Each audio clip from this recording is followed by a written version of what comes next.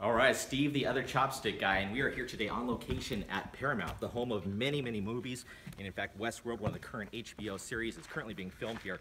But we're going to talk about something that makes a huge difference when we're actually shooting outside in a very bright time. Now, right now, it's right about noon, and we're here on this movie set, but it is extremely harsh and bright. And we're going to talk about the Sunny 16 rule, which we, we mentioned briefly in one of our last quick bites.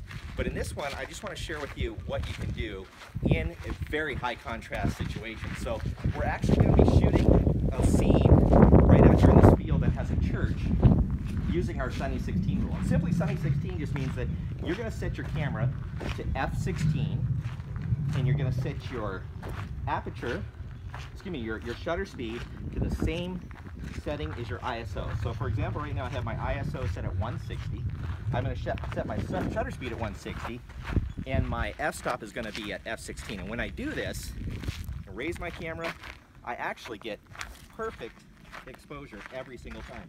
My sky is perfectly blue.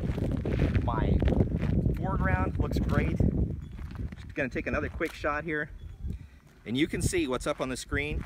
Just amazing exposure. Sunny 16 rule. So the key is f-stop 16 and whatever your shutter speed is, you're gonna match that with your ISO. And that's your quick bite for today.